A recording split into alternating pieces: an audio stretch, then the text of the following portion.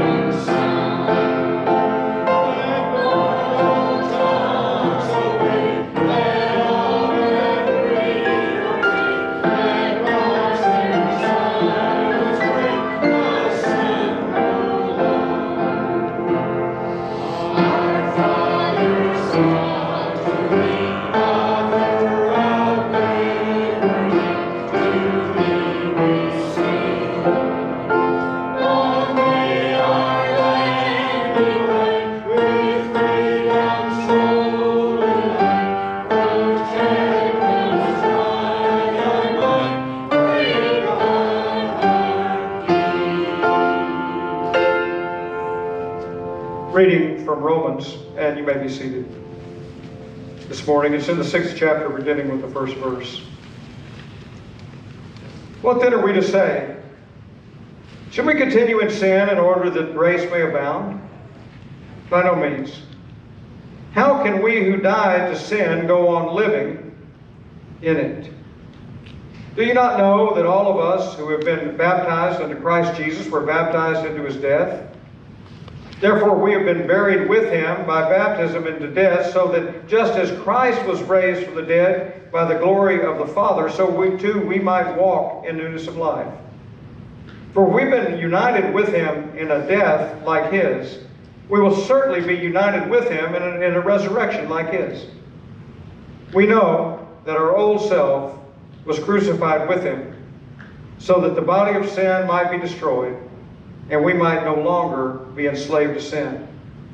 For whoever has died is freed from sin. I think I have read further than Johnny had. This is the word of the Lord. Thanks be to God. Actually, you know, I, that's not what I wanted to read, so let me just keep. You're going to get to hear more scriptures today. Yay. I've got two different things going on here. One's yesterday and one's today. So let's do this a different way. So then, brothers and sisters, we're debtors, not to the flesh, to live according to the flesh. For if you live according to the flesh, you will die. But if by the Spirit you're put to death the deeds of the body, you will live. For all who are led by the Spirit of God are children of God. For you did not receive the spirit of slavery to fall back into fear, but you received a spirit of adoption. When we cry, Abba, Father, it is the very Spirit bearing witness with our spirit that we're children of God, and if children, then heirs, heirs of God, and joint heirs with Christ. If in fact we suffer with him, so that we may also be glorified with him. Now, that's better. Thanks be to God. So, there's things that we talk about. This is Trinity Sunday. This is the Sunday when we realize that we've gotten through uh, the Old Testament, we've got God figured out, we've had a lot about Jesus. He was, you know, Advent came, and Jesus was born, and then he was baptized, and then we had Epiphany, and then uh, we had Pentecost last week, and so now we have this time of, of, of realizing what it means to have this God three in one. It's one of the most difficult concepts in all of Christianity because it's just one God, but able to do three different things, and it takes all three different things to make one God. So we have God the Creator that went out into the world and made all of this out of chaos, out of nothing.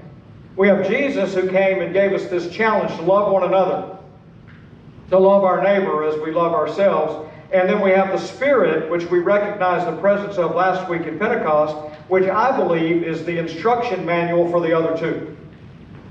If you were a person that watched the, the, uh, the Shack, I think that there's a pretty good representation of the Holy Spirit in there. Although, because I grew up during Disney times, I couldn't help but see Twink Tinkerbell when I saw that. It just reminded me of Tinkerbell. Maybe Tinkerbell is the Holy Spirit. I don't know. I always thought it was kind of Jimmy Cricket sitting on your shoulder saying, don't do that. But, uh, but I think the notion of the Trinity and why we celebrate it is, is exemplified in these passages. We have this passage in, in Isaiah, which is way before Jesus came, when they have this realization that when God touches you, God has the ability to forgive your sins and to send you forth. And the question is asked at the end of that passage, who shall I send? And I think God's still asking that question today. Who shall I send? And the answer for us Christians, because we have already accepted Christ, stood in front of a church somewhere and said, I believe that Jesus is our Lord and Savior. I believe in the Father, the Son, and the Holy Spirit. We've all done that. Then we are the ones that really are saying, Here I am, send me. Amen. But the description of the world is right, right? We, he lived in a time when he was, he called it untruthful or sinful, and he lived in a sinful world. You see anything different today? We are, by nature, sinful, and we live in a world that exemplifies sin way more than it does grace, mercy, and love. Amen. And so we're supposed to be called to be something different. One of the reasons I told the silly joke about the Catholics and the Methodists is that, that we are maybe different biologically from male and female, but as children heirs, as this describes it, we are all brothers and sisters in Christ. Not so much in the Methodist church, but in the Baptist church, all the guys get called brother so and so, and the ladies get called sister so and so, because when you're baptized, your last name goes from being whatever it is to being Christian. We are supposed to be brothers and sisters with our Baptist friends, our Catholic friends, our Lutheran friends, our Pentecostal friends. We're supposed to be united in the kingdom to do kingdom work. Amen. And instead, because we're people, we like being fractionalized and minimalized and moved into corners or silos where we just do it our way and they can do it their way, but let's don't do anything together. I really believe this. I've said it many times. If churches did what churches are supposed to do, we would not need governmental welfare. What do you mean? Well, it's real simple. Every church can't do as much as other churches, but every church can do something proportionally.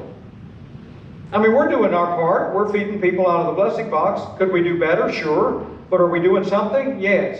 And if every church did something, it would be better than trying to sit around and compete to say, can I do it better? Maybe we would realize what we realized here about 10 years ago is that we were doing we were doing a vacation Bible school here for like seven or eight kids.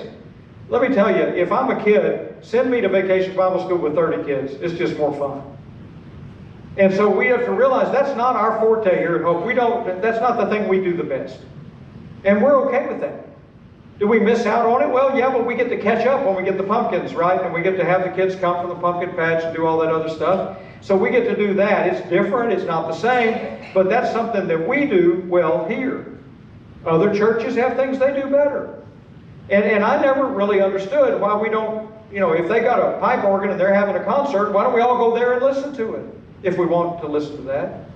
But it seems like people are just in these silos of doing stuff. Well, I'm only going to do it with my group. Hey, I witnessed this firsthand, but I tried very hard. When I was serving in La Porte, every Easter Sunday they have a, um, a non-denominational sunrise service at Sylvan Beach. Uh, they pick usually the newest preacher in town gets to preach, whatever denomination, and they mix up the music and they do all the stuff, and everybody supports it, and it's pretty full. Sylvan Beach Pavilion's pretty full. And when it's not raining, they, you see the sun come up out over the bay. It's a beautiful place to have a sunrise service. We tried it here in Pasadena. We tried so hard. We did it at the Rotary Pavilion, sunrise, Easter morning. Oh, we used to have our own here in the courtyard, and we used to share it with Parkwood Church years ago. But we thought, you know, let's bring everybody in the city together. It's only one Christ, one empty tomb. Let's get everybody together and sing Christ the Lord is risen today with 300 or 500 people, not 120. Uh, hardly anybody showed up. Now, that tells me something about the community we live in. I believe most people would say we live in a Christian community. As far as I know, there is no synagogue and no mosque in Pasadena, Texas. And the truth is, you could probably close one out of the six churches that are there, or maybe two, and you wouldn't even notice it. And for sure, you could close five of them, and all the people would fit in the sixth one if it remained open. Now, that's sad. We've been called to change the world. We're a part of a revolution called Christianity. Jesus said, Go into all the lands, nations, whatever version of that you want to read, and make disciples. Now, for them, that was a pretty small area. It's about 12 miles either side of the Jordan River. But this is 2021. The lands are bigger. We know more stuff. We go more places. One of the saddest things I know is that when I got into ministry, we were sending people to China to be missionaries, and now China's sending missionaries back to us.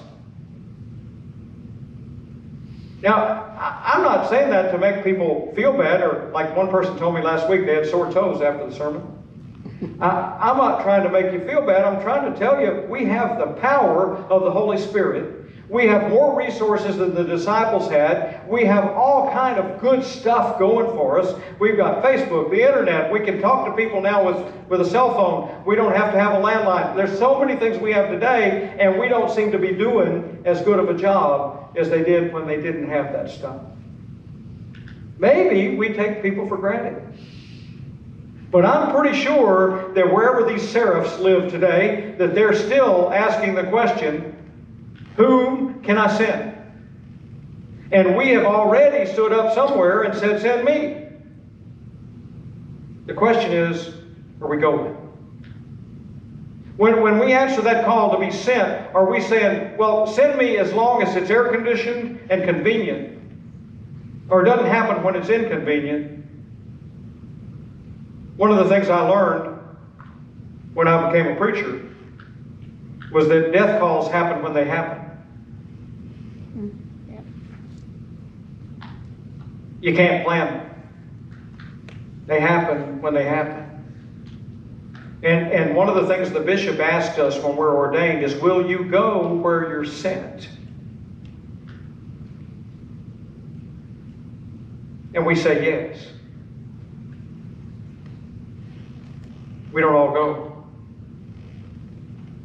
Every preacher doesn't respond. All people don't do it. We're all human beings. We make mistakes. We forget.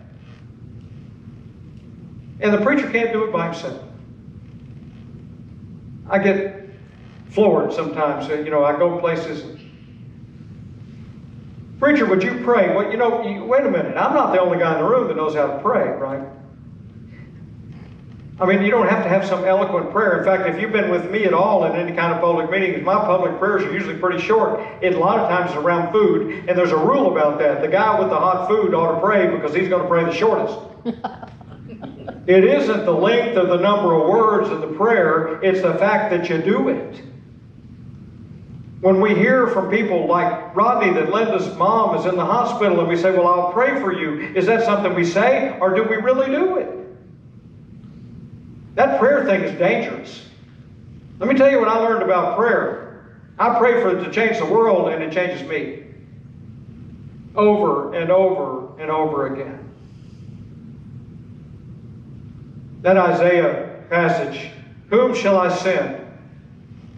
That's a gutsy move to say, Here I am, send me. Don't say it if you don't mean it. Because God will send you to places you never thought you'd be. To be sitting by the bedside of people you never thought you would, and to, to, to care and love people that you never thought you would like. The commandments. Jesus' commandments, they're really not complicated at all, are they? Love one another. Do unto others as you'd have them do unto you. Oh, we can get caught up in the do not steal, don't murder, don't do it. Yeah, we can. If you love one another and if you love others as you love yourself, you're not going to do that stuff. Amen. Amen. Jesus didn't come to take away the law, He came to fulfill the law. And we Christians have got to get to work because I got to tell you, the world is hurting. I've not, in my almost 70 years, lived in a time when the world was as fractioned as it is right now over sometimes very silly things. Things that are not eternal. Things that are really temporary. I think sometimes we don't realize what a big deal it is to say that I'm a follower of Jesus Christ. I know for me, you know, I went to almost 31 years ago or 32 years ago to recovery into recovery with Alcoholics Anonymous and uh, you know, they talk a lot about a higher power, and I never knew, I always knew that was Jesus. I always knew that Jesus was with me, and I had the occasion to work in a psychiatric hospital for some years. One of my jobs was to go out to talk to preachers and people so that, that uh, y'all, y'all probably aren't aware, but some years ago down at First Methodist downtown, uh, Bill Henson was the pastor, and he'd been doing some counseling for a guy and the guy showed up at the church, and, and, it's kind of a fortress to get in there, but he got in up to the offices, and he said, I need to speak to Dr. Henson. Dr. Henson wasn't there, and so a guy named Eric Anderson said, Well, I'll go help him. And the guy killed Eric that day in the office at the church. And so we kind of learned a lesson. You know, counselors get trained to be counselors, we get trained to be preachers, those are not the same thing. Doesn't mean we can't listen, doesn't mean we don't care, but there's a certain time when we need to refer people off somewhere else. And when I was working for psych hospitals, that was my job, is to go out and talk to people about the reason that this could be useful to you preachers out in the world. And you can't imagine the number of times that I heard a preacher tell me, you know, if they just had more Jesus, they'd be fine. Let me tell you, mental illness is mental illness. It's real, just like cancer and a lot of other things. And it's, it's, it's the real deal. And, and some of it's out of, I, you know, don't come to me for brain surgery and don't come to me for that kind of counseling. But I know we have resources, and because we're a connectional church, we have resources. We got a place called the Krist Samaritan Center down in Clear Lake that I can refer people to, and they'll they'll take you in. And it doesn't, if you don't have insurance, they'll work with you on the cost and all that other kind of stuff. But there's a stigma around that, right? That, that, that I don't want to admit I need help. I don't I don't want to admit it. And and one of the things I learned when I came here, because I talked openly about my own recovery, was that people in the church began to talk about their issues as well. If you don't let somebody know that you've been hurting, they're afraid to tell you that they're hurting. And you know what? There's not a person in this room that hasn't been hurt sometime. There's not a person in this room that hasn't had their feelings hurt. There's not a person in this room that hasn't felt lonely or alone or left out. It happens. And the only way to overcome that is to get connected. I, I tell people this one of the things I am qualified to tell you is that the easiest way to get through things like depression and, and anxiety and all those things is put something on your calendar and go do it, even when you don't feel like it. My shoulder hurts. Had surgery, it hurts. I, I can't raise my arm any higher than about like that. I could go home and sit there, and you know what? My shoulder still hurt. At least when I come here, I get a little bit of a diversion, and uh, y'all are funny, and we talk, and I get to say hi to people, and I feel better. I promise you, that's the case for you too. Chris Proctor told me one time a few years ago. For, he's been our worship leader on Saturday night, off and on since 2009. He said, "You know, there have been a lot of Saturdays. Got to be about four o'clock. I was thinking, man, I don't think I want to go to work tonight." There have been a lot of Sunday mornings when I wasn't a preacher. I thought, man, I don't know if I want to go to church today. I could just turn it on TV, you know. Or now you could just wait and get our church. And what, what was funny was Chris said, you know, there's never been a time that I came that I didn't feel better after I left, when I left after I'd been after being here. And I think that's always true. And so the, the reality is we've got to help people overcome their anxiety and their fear. We've got to let them know that you can come here and be imperfect. You can come here and have problems. You can come here and be a mess. You can come here and be a hot mess. It'll be okay. Because you know what? Some of us are hot messes. And this scripture ought to give us affirmation that when the Spirit reaches out to us, it doesn't have to literally use a coal from a fire pit and touches us. We can be absolved of what we were and of our worries and our troubles and given new life. And it's never too late to start it. Years ago, we had a couple that came to church here named were Kay and Hank. After Hank was about 82, I think.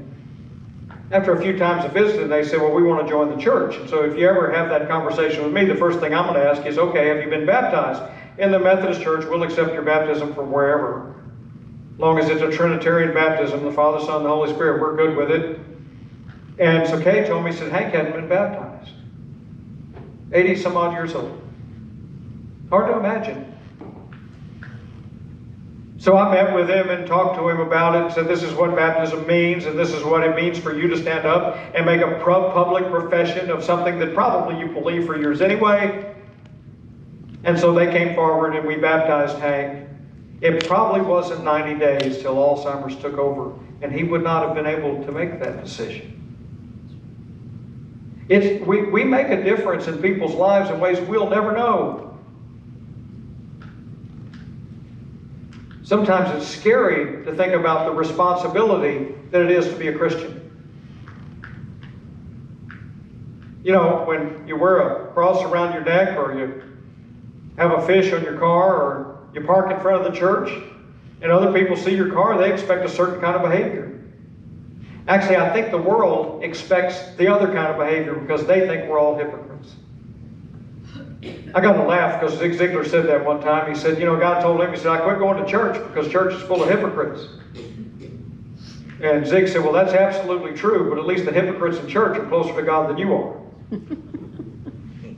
we all are hypocrites. We all sin. We all make mistakes. We all even say things that we shouldn't have, and we all reach out there the wrong way. But we can overcome that through the Spirit when we start to realize this isn't some body, this is my brother and sister in Christ. And I can treat them like I would a real, I, I'm an only child, so I have to work at that, I- but I did raise two boys. I know what that's like. I'm not gonna fight you like they fought. Still do in some ways.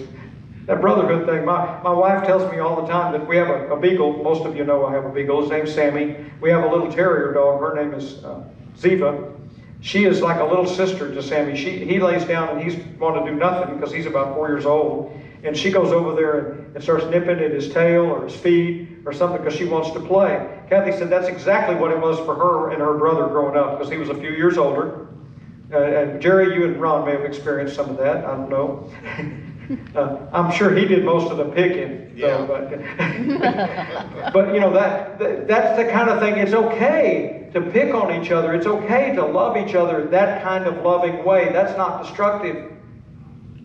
The question is, what about these people that don't? What about all these kids up at the school that have? They, they live in, in separated families. Dad lives one place, mom lives somewhere else. They see their mom or their dad on first, third, and fifth weekends. They don't have a grandparent that lives close by. You know, one of the things we can do is we can be their grandparents. We can welcome them. We can teach them to read when we get that chance, when it opens up the school. We can, we can do those kind of fun things. These scriptures, especially the Isaiah passage, works on me a lot. Whom shall I send? Here I am, send me. But friends, you can't answer that unless you understand that you will be led by the Spirit if you make that commandment. If you make that commitment to, to be led, if you make that commitment to be an answer to God's call, the Spirit will lead you. I'm pretty sure that God hadn't quit asking the question. I'm pretty sure that God's still reaching out to every single person on this planet, but there's a lot of distractions. Have you noticed? It's more distractions now on Sunday morning than when I was growing up. Remember? Some of y'all remember. The stores were closed. They had big nets over some of the stuff in the grocery store because you couldn't buy some things. I was always very confused by it. Many things about my childhood were confusing. But what I have learned in more recent years is that when I can get past those things and start to realize that God has a purpose, I believe, for every single person. When the scripture says God knew you when you were being knitted together in your mother's womb, I think it's telling the truth. Some years ago, a friend of mine was appointed to a church not too far from here. It had recently moved from downtown in that little city out to the, the loop. And the church had gotten very isolated out on the loop. It had all the wealthier people. Everybody was well dressed. They all had nice cars. And they sort of lost focus. And he knew that I was kind of a person that liked to do ministry for people in need. And he called me and he said, What would you say to this church? And I said, Well, the only thing I can think of right now is I would ask them, What do you think's happening in this community that breaks Jesus' heart? Now, I know we got other stuff going on in the community, right? We got bad streets in some cases, and we got some crime going on. What do y'all think is going on in southeast Harris County, Pasadena, Deer Park, La Porte, Sagemont, wherever we all are from? What's going on out here that breaks Jesus' heart? And if we can identify it, can we do anything about it? We learned that Pasadena Schools has a very high incidence of unexpected pregnancies in high school. We didn't know that. We learned that after Harvey, they went from having 15 or 1,600 homeless people, children to something like 15,000. We learned that there's stuff going on, and the churches did get together and they, they decided what we're going to do is we're going to help the mentoring program, and they've done that. There was a couple of years where our church had the most people of any church doing mentoring in Pasadena School District. We had about 13 people out of the 25 that were doing it. Last year, well, pre COVID, we had about 250 from all the churches. It's an improvement. But we also have to realize there's some things we can't fix. And on those we can pray. And we can ask for God's divine guidance on what to do and how to do it. But let's don't lose sight of the fact that there are some things we can't fix. One of the things we do, and we're doing it pretty well, is we fill that little box up out there and, and people come and get food. I think the pumpkin patch is that too.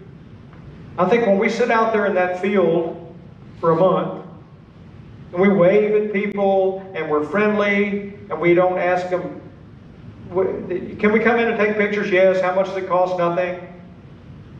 When we just provide a place for people to be in a neighborhood, to have a safe place, I think that's part of doing what I'm talking about.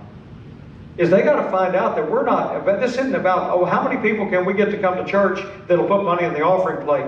Although that's essential, we need that too. But that's not our, oh, I believe when we do what God's called us to do, when we answer this call, when we say, Here I am, send me, the offering plate's full. Always has been. When we do what God calls us to do, God provides. You know, God doesn't need the money. I guess y'all are aware of that. God, God doesn't have a charge card. God doesn't need money. But sometimes we need to let go of some. We need to reprioritize our life. That's one of the ways that we start to learn to answer that call. I think when when uh, Romans, and I know Romans is always a, a wonderful place to go in the scriptures. When it says, For in hope we were saved. Now, hope that is seen is not hope. For who hopes for what's seen? But if we hope for what we do not see, we wait for patience.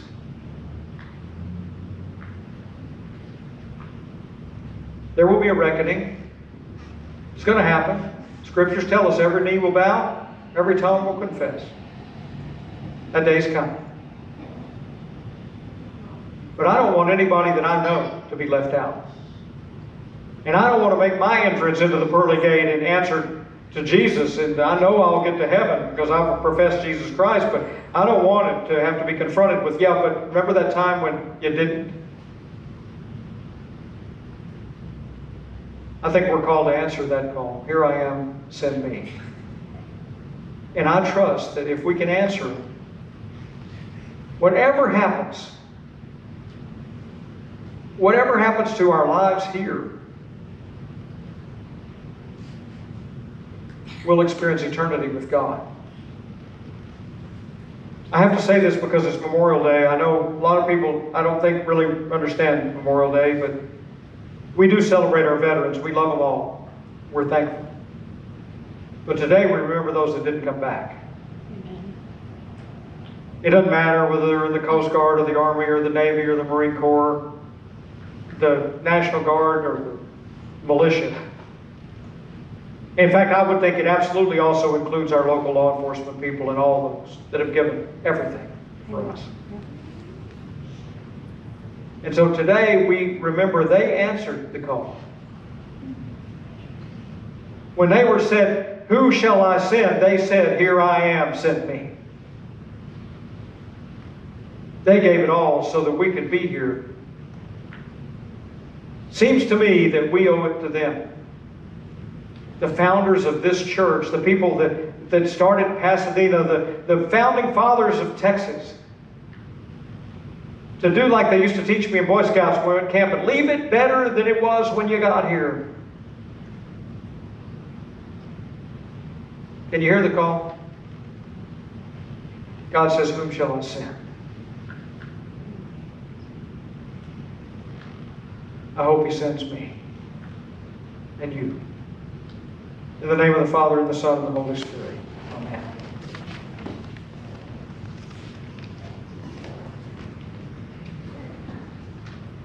You know what? Let's do something different. Uh, no, we can't. We don't have hymnals. Never mind. We'll sing over I Love Jesus. It'll be fun.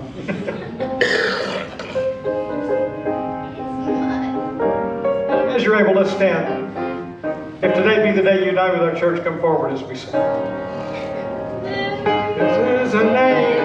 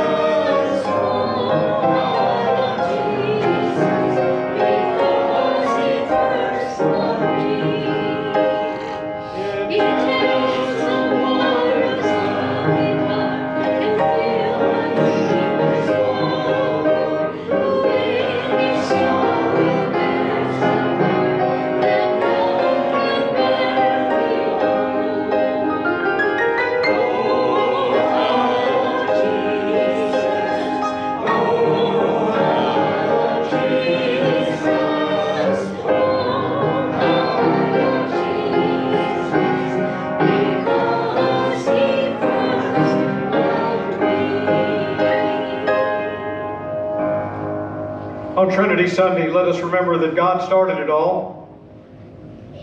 Jesus showed us how it works. And the Holy Spirit will guide us through. We don't pass an offering plate right now because of COVID. We'll be doing that again soon, I think, but there is a basket in the back. We gladly accept your gifts, tithes, and offerings there. Friends, go in peace and have a wonderful Memorial Day holiday.